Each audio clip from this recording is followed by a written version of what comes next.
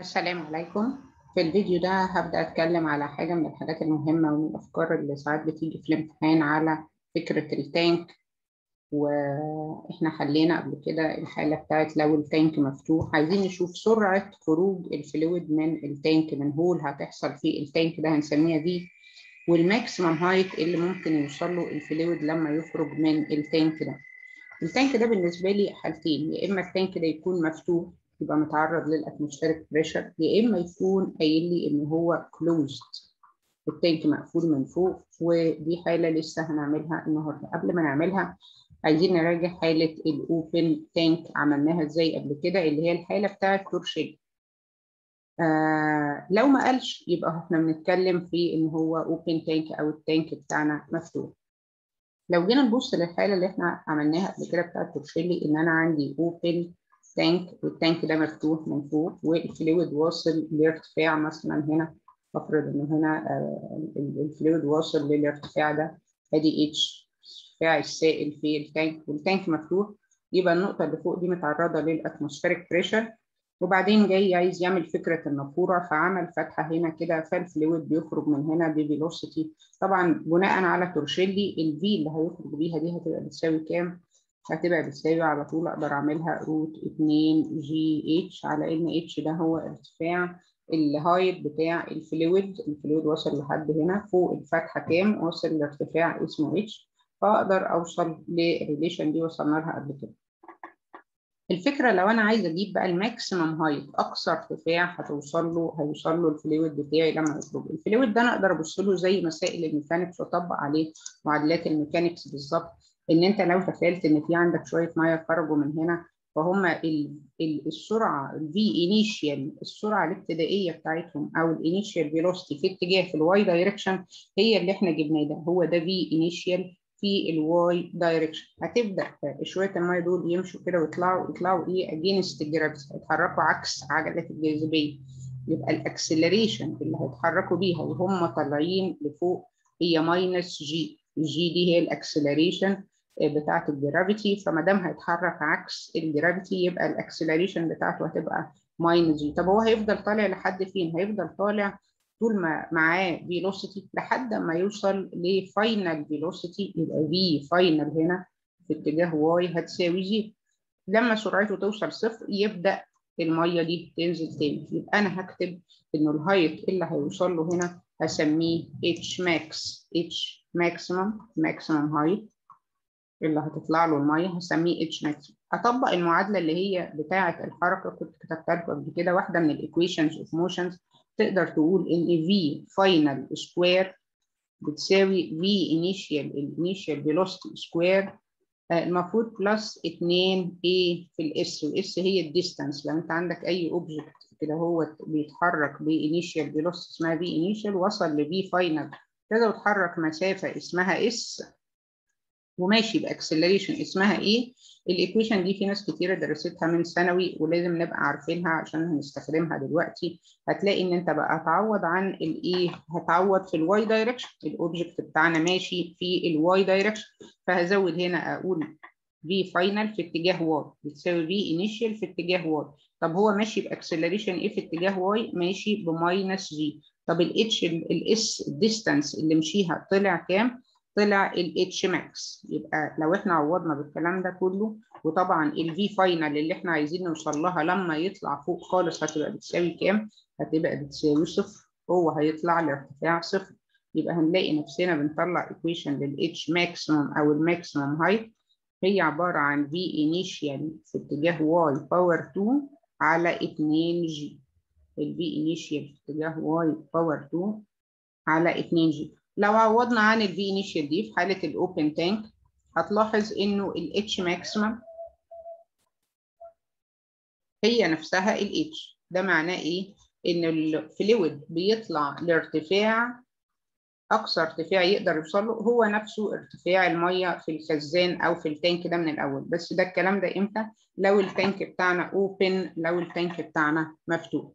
طيب إيه اللي يحصل بقى لما نكون بنتكلم على closed tank يا ترى إيه اللي هيحصل معانا لما نكون بنتكلم على closed tank نخلي بالي بقى إن ال closed tank ده معناه إن ال fluid واصل آه لهنا أهو اللي هو ال H اللي إحنا مسميه H ارتفاع السائل أو ال fluid في الخزان أو في ال tank ده. لكن ال pressure بما إن ال tank ده مقفول يبقى ال top surface أو السطح اللي فوق ده بتاع ال fluid متعرض لل pressure بتاع الجازس دي. الجازس أو الغازات دي ممكن تكون مضغوطة أو يكون عامل لها pressure غير ال atmospheric pressure يبقى ال pressure هنا هنسميه P ما هواش بيساوي ال atmospheric pressure اللي ال fluid هيخرج يقابله من هنا. طب ال fluid هيخرج من هنا يقابل مين؟ يقابل ال atmospheric pressure اللي اسمه P naught فلو جينا نكتب نفس ال equations اللي إحنا استخدمناها قبل كده وإحنا بنستنتج تورشيلي هي نفس القصة. أنا هعمل نفس أنا هعمل نفسي زي تورشيلي بالظبط. أنا مش أقل من تورشيلي في حاجة. أنا هقول ال area بتاعة ال tank ده area كبيرة. أوكي ادي ال A capital وال fluid بينزل ب velocity اسمها V capital وهبقى متوقع إن دي هتبقى neglected زي تورشيلي بالظبط. وهنا الاريا بتاعت البول اي سمول وهكتب ال continuity equation A في V بيساوي A capital في V capital ده معناه إنه ال V capital بتساوي A سمول على A كابيتال في B سمول يعني ال V capital دي سرعة هبوط السائل very small وكان بي neglect وكان بي neglect.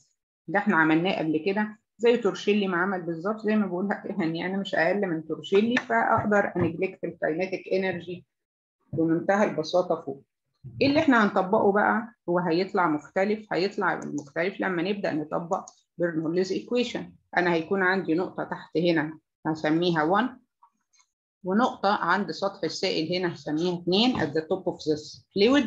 وهاجي أقول at 1 عند 1 عندنا pressure اسمه P naught وعندنا ال kinetic energy half rho V square طب في potential energy لا إحنا هناخد ال height بتاعنا بيتقاس من تحت هنا. يبقى الكلام ده هيساوي ناخد عند نقطة 2 نبدأ نجمع الحاجات اللي عندنا عند 2 هيبقى عندنا ال pressure اسمه P وفي ال term اللي هو half rho V capital square هنكتبه إحنا عارفين إن إحنا هنعمل له إيه؟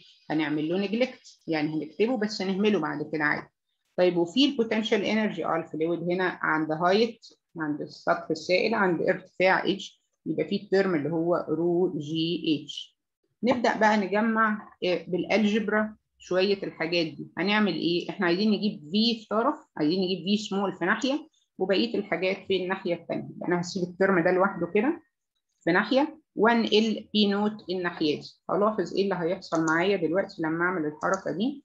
هنكتب half rho V square دي هسيبها في الناحية الشمال ولما أنقل ال P naught هيطلع لي P minus P naught ال term ده كان بي cancel مع بعضه لأن كان بيبقى P naught و P naught.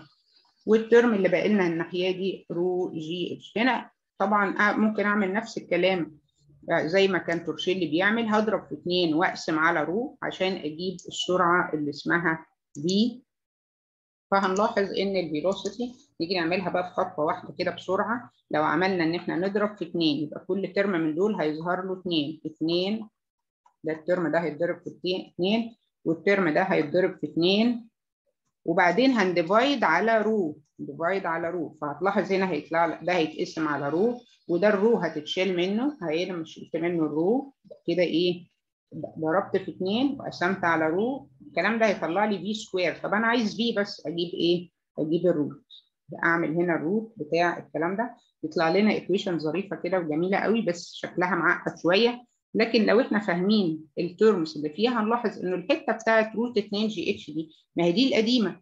ده الجزء القديم اللي كان بيقول لي إن ال fluid بيخرج تحت تأثير فرق ال potential energy due to فرق ال potential energy إنه كان fluid فوق عند height معين وبيجي يخرج من تحت هنا. فكان الاندفاع ده بيحصل بسبب فرق ال potential energy القديم بس. دلوقتي ظهر لنا term كمان فبيبين إن ال fluid بيخرج بسبب إيه؟ Due to ال pressure difference اللي هو فرق الضغط pressure difference اللي هو فرق الضغط. إن بقى عندك كمان عامل على ال fluid ده من فوق عامل عليه force أو عامل عليه pressure أهو P مختلف عن ال P naught فطبيعي إن سرعة السائل اللي يخرج من هنا تبقى أكتر من ما أنا متعود تبقى أكتر من المعتاد. تعالوا نشوف أنا طبعا ال equation دي عايزة بروزها وبعد كده هنبدأ بقى نشوف كده numerical exercise علشان نشوف إيه اللي هيفرق معايا لما أجي أعوض في المسائل الفكرة اللي جات لهم في ال midterm في سنة من السنين أو final تقريبا جت في final قال له عندنا tank وال tank ده closed يعني ال tank مقفول من فوق. خلي بالك إنه لو قال closed يبقى إحنا ما إحناش تورشيلي ما أقدرش أعمل root 2 g h على طول. لا لازم بقى أستخدم ال expression اللي أنا وصلت له ده دلوقتي هنا أهو أنا كتبته لكم. وبيقول إن ال fluid واصل لحد ارتفاع 80 سم واصل لارتفاع 80 سم يبقى الجزء اللي فوق ده air وليه pressure اسمه P وقال له إن ال P هو 2 P naught ال P هو 2 P naught طب ال fluid من هنا هيخرج بسرعة كام؟ طلب منه حاجتين. يا ترى ال P هيطلب هيخرج بسرعة كام؟ ده بالنسبة لي هعوض في المسألة اللي فوق ال rho بتاع ال water طبعا معروفة إنها 1000 كيلو جرام per meter cube وتعالى نعوض كده هنلاقي إن إحنا آه هنعمل root كبير جدا عشان يبقى عندنا أرقام كتيرة جوه. 2 P minus P naught يعني ال P 2 P naught و P naught طبعا أهوت يبقى ده minus ده هيطلع لنا P naught طب P naught بكام؟ P naught 1 10 to the power 5 ده هو ال P naught إحنا عارفين ال P naught المفروض محفوظ وهيدولنا. هنقسم على rho اللي هي 1000 plus 2 في جي 9.8 في ال height خلي بالي 80 سم يبقى لسه هقسم على 100 هتطلع ال velocity بتاع ال fluid اللي خارج ده كام؟ هتطلع 14.6 meter per second طبعا السرعة دي سرعة كبيرة جدا ال fluid بيخرج بيها ليه؟ لأنه تحت تأثير فرق ال pressure يعني في pressure هتلاقي معظم الرقم ده جاي لك من ال term بتاع فرق ال pressure مش فرق ال potential energy طب يا ترى ال fluid هيوصل ل maximum height كام؟ هقول خلاص ال fluid اللي خرج ده دي هي ال V initial في اتجاه y بتاعها هو خارج أصلا vertical كده تبقى هي دي ال V initial اللي في اتجاه y هيوصل ل height كام؟ اطبق ال equation اللي أنا قلت عليها إنه V final y power 2 هتساوي V initial y power 2 minus 2 g في ال h ال maximum. ال term ده بحطه صفر لأن هو بيوصل لل maximum height لما ال V final بتاعته في اتجاه y تكون بتساوي صفر.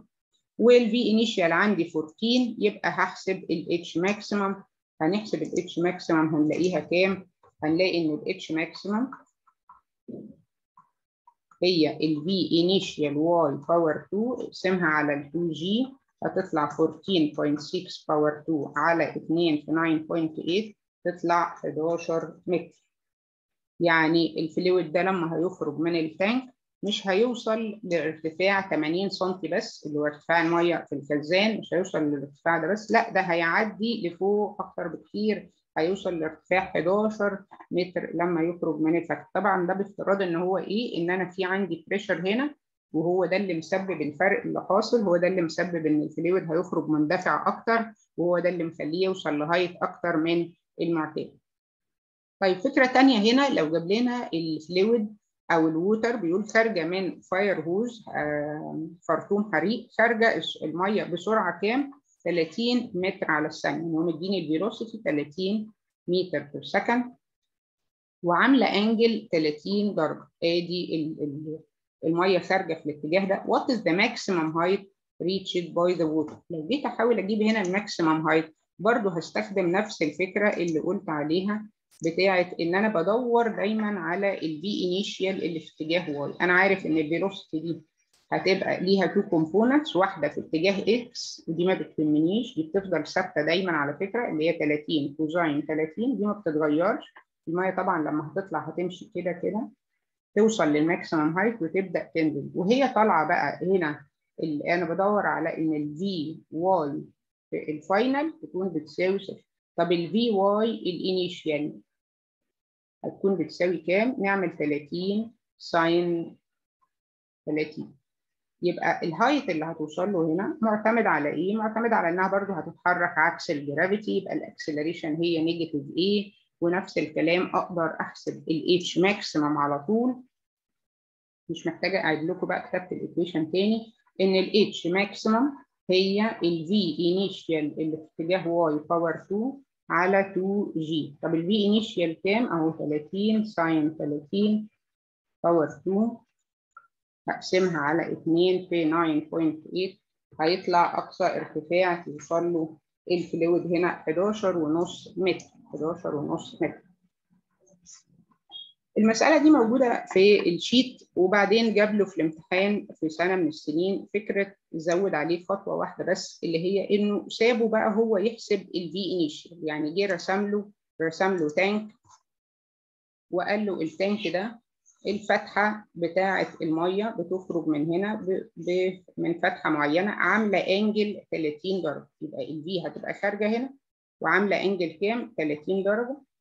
فطلب منه ال maximum height H maximum ال H maximum المفروض عارفها هي ال V initial y power 2 على 2 g الفكرة ال V initial y دي هجيبها إزاي؟ هنا بقى ما ادالوش إن السرعة بتساوي 30 متر على الثانية على طول. لا زي ما بقول لك زود عليه خطوة واحدة بس إنه المفروض بما إن ال tank ده كان قايل له إن ال tank ده open tank يبقى أنا المفروض هقول على طول هي الفي هي 2 جي اتش بس ال H بتاعي اللي هو ارتفاع المية فوق الفتحة أشوف كده الفتحة دي المية واصلة فوقيها بارتفاع كام؟ لو المية واصلة للارتفاع ده يبقى هو ده ال H اللي أنا هاخده معايا. يبقى أنا هاخد ال V دي اعمل لها resolution ادور على اللي هي V sine 30 دي هي ال V initial اللي في اتجاه y هي دي اللي أنا عايزها. اخدها أعوض بيها هنا يبقى ال H maximum هتلاقي ال maximum height هو V sine 30 على 2 g طبعا ده كله power فنقدر نقول إن ال angle دي ايا كان ال value بتاعتها لو أنا سميتها سيتا هتلاقي انه ال H maximum هو V square على 2 g V sine square theta طب V square على 2 g ده هو ده ال height ال maximum اللي كانت المية بتوصل له لو هي طالعة vertical لو كانت المية طالعة بشكل رأسي يعني لو كانت الفتحة بتاعت الخزان معمولة كده أهو كنا بنوصل لل height ده H يعني V square على 2 g square على 2 لما تبدأ بقى الفتحة تميل تعمل أي angle زي كده هتلاحظ إنها معتمدة المية بقى توصل ل height كام؟ هتبقى معتمدة على ال term اللي هو فيه sine square يبقى إذا كل طبعا ما الفتحة تميل ومثلا لو فرضت إن الثيتا بصفر فتحة معمولة كده معمولة horizontal طب ما هو sine صفر بصفر. فمش توصل ل maximum height خالص. لما تبدأ تميل كده تبدأ ال height يزيد. يوصل لأقصى قيمة ليه إمتى؟ لو ال لو ال لو ال opening أو الفتحة بتاعتي vertical بالظبط بالطريقة دي. طبعا أنا كده آه لخصت شوية أفكار فاضل لي حتة صغيرة قوي في ال sheet وأقول لكم دلوقتي ثانك يو السلام عليكم ورحمة الله وبركاته.